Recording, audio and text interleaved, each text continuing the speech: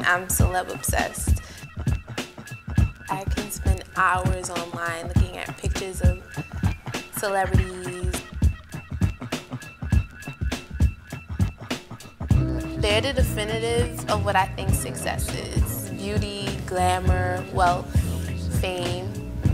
But I've also always wondered whether success can only be measured by celebrity and fame. I'm a senior in high school and my life's about to begin. And I probably won't be the next Beyonce, Rihanna, or Kim Kardashian. So I need to look to other places and other people for examples of what it means to be successful. Here are the stories of three everyday heroes who showed me the true definition of success.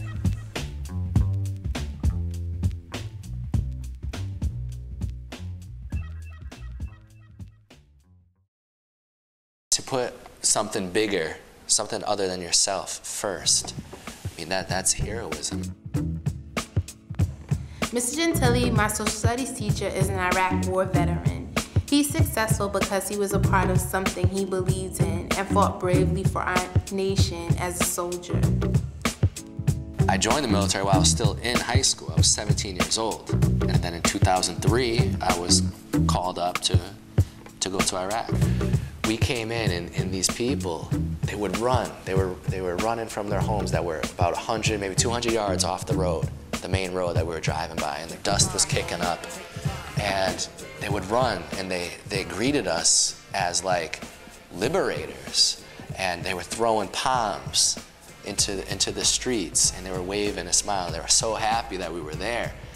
And I'll just never, I mean, that really, really blew my mind. It was even more interesting that on the way back, those same people were throwing rocks at us on the way home. I don't think these soldiers, they don't want recognition. They don't, they're not seeking to be celebrities or famous. That's not their, their definition of success. You know, their, their definition of success, at least mine was to, to honorably serve my country. A lot of people don't have the family that I had. So all they have left, they don't have anywhere to turn, so they turn to the streets. But that's still not an excuse. For me, it's not an excuse. Janique is successful because he's weeded out all the negative in his life and he's only seen the positive. My relationship with my mom was like any other person, any other child's relationship with their mom. I was I think first, but surely finish last. Last. about 14, 15 when she passed away. For a while, I didn't see the point of anything. I didn't want to succeed. I was tired of going to school. I was tired of everything. I just wanted to be left alone. But, you know, my family, they didn't see it that way. Before she passed, I knew I needed to do well in school and do well in other aspects of my life to succeed. The thing I miss most about my mom, the connection that I had with her, that she passed and it's like it's gone and I, I know it's gone. I feel that it's gone. It's a struggle going through without her, living these days without that that raw emotion that she showed me.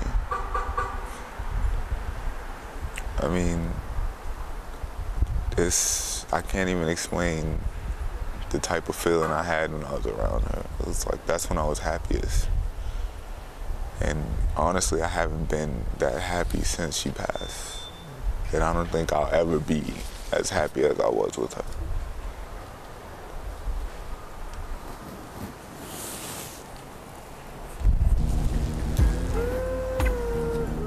My mom, Janique, is like my everything. She's responsible for all I have and all I am. She's a single mom and works very hard to make me and my sister comfortable. She sacrificed everything to keep us together and help us form the amazing, irreplaceable bond we have. You came into a world with a mother, definitely, who was greatly glad to see you and that gave you a whole lot of love. And whether she was young or old or single or not, that you were given the care and as many comforts as you could possibly have, regardless of whatever sacrifice it was on my part. The biggest hardship is um, that I found as being a single mom is probably most likely just trying to keep enough money so that I can continue to care for my kids. Your dads are somewhat in the picture, but not at the same time. Of course, I've taken a lot of mediocre jobs to make sure that I've always been available and had a flexible schedule. And on the career career side, that has been a great personal sacrifice for me.